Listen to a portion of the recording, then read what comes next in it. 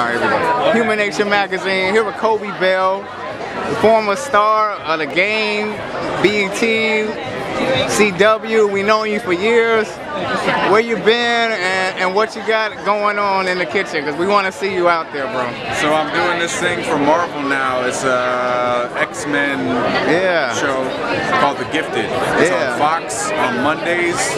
Um, the, the premiere was just this past Monday. It was dope, man. Like Okay. I, I'd only seen the beginning of it. I hadn't seen the whole thing. Yeah. So I was watching it with my family. Like, it's good. It's, it's Okay, awesome. Yeah, yeah, Okay, yeah. awesome. So I'm excited about it, man. Awesome, awesome. And so you played an athlete for so many years. I look at you at you as you as a, like a, a professional athlete. And so, you know, what do you think about the national anthems and your character in the game? Do you think he would uh, uh, protest? Uh, you know, with Thurgood? I definitely, me, I would definitely. Uh, Okay. take a knee, no problem. Okay. I think it's, I think it's a respectful, Right, right. of protesting. Right. Point across. I don't see what the big deal is.